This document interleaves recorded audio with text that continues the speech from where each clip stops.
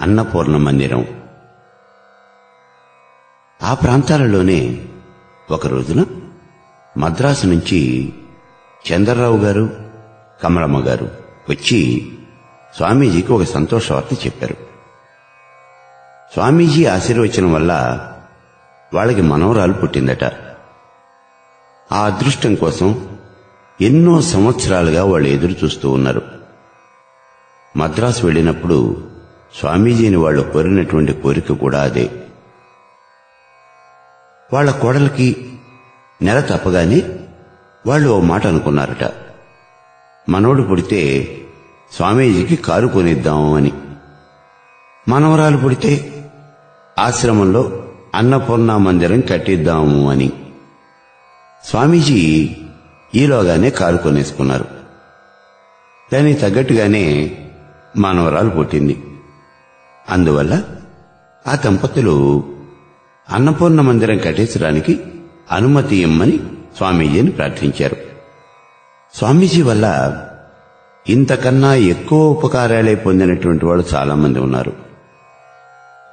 వాళ్ళల్లో కొందరు మాత్రమే పని జరిగిన తర్వాత వచ్చి కృతజ్ఞతలు చెప్పి వెళ్ళారు దానికే సంతోషపడిపోతూ ఉంటారు స్వామీజీ.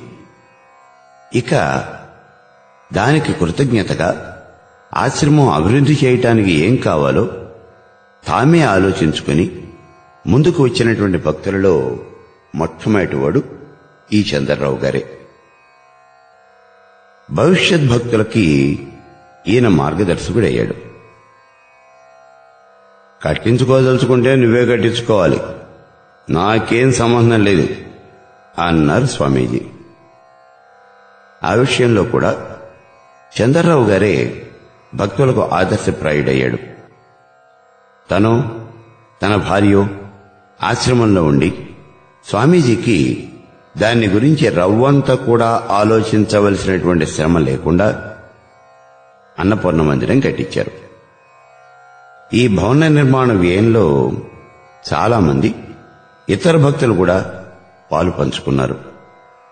స్వామీజీకి సాక్షాత్తు యశోదానందులు అనదగినటువంటి జయమ్మ సూర్యనారాయణ దంపతులు ఈ కట్టడానికి శంకుస్థాపన చేశారు.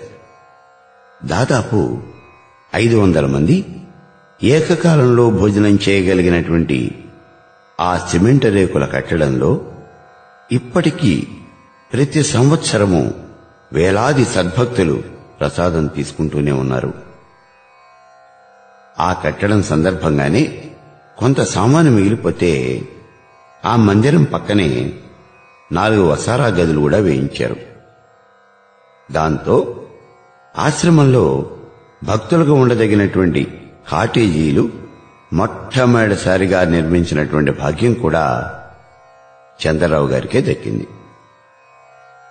చొప్పరం కేవలం కొబ్బరాకుల పాకవటం వల్ల అది వానను పూర్తిగా ఆపలేకపోతోంది అని గమనించినటువంటి అనంతపురం భక్తులు ఈ సంవత్సరమే తమ దేశం నుంచి లారీల్లో రెలుగడి తెచ్చి దాంతో మరింత పటిష్టము విశాలము అయినటువంటి సొప్పరాన్ని ఏర్పాటు చేశారు. వెంటనే సొప్పరంలోని నేలకు సిమెంటు గచ్చు కూడా ఏర్పడి యోగాసనాల తరగతులకి మరింతగా సౌకర్యం ఏర్పడింది. అన్నపూర్ణ మందిరం వల్ల వానాకాలంలో నిశ్చింతగా పడుకునేటువంటి నీడ కూడా ఏర్పడింది. ఆశ్రమంలో మొట్టమొదటి ప్రధాన కట్టడం రావటంతో ఆశ్రమంలో ఖాళీగా పడి ఉన్నటువంటి పొలం మీద స్వామీజీ దృష్టి పడ్డది.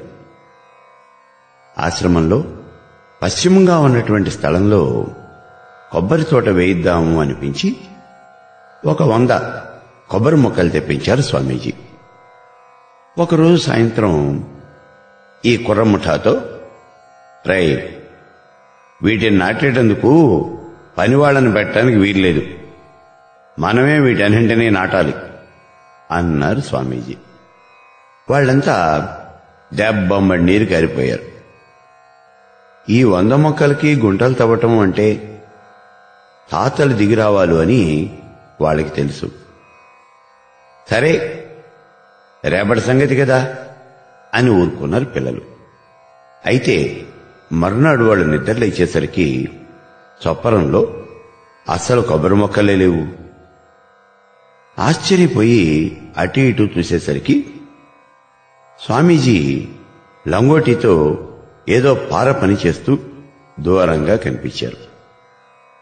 పిల్లలు అక్కడే స్తంభించిపోయారు. ఆ వంద కొబ్బరి మొక్కలు అప్పటికే పాతేస్తున్నాయి. ఇంకా చివర్లో పారతో కుదుళ్ళు సరిచేస్తూ ఉన్నారు స్వామీజీ.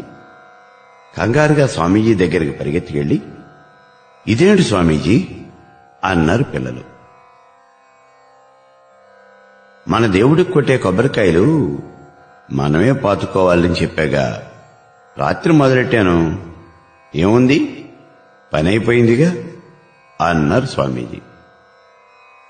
సక్కుబై కథలో లాగా రాత్రికి రాత్రి ఇంత తవ్వకం ఎట్లా తవ్వారో మరి స్వామీజీ అనుకున్నారు కుర్రవాళ్ళంతా ఆశ్చర్యంగా.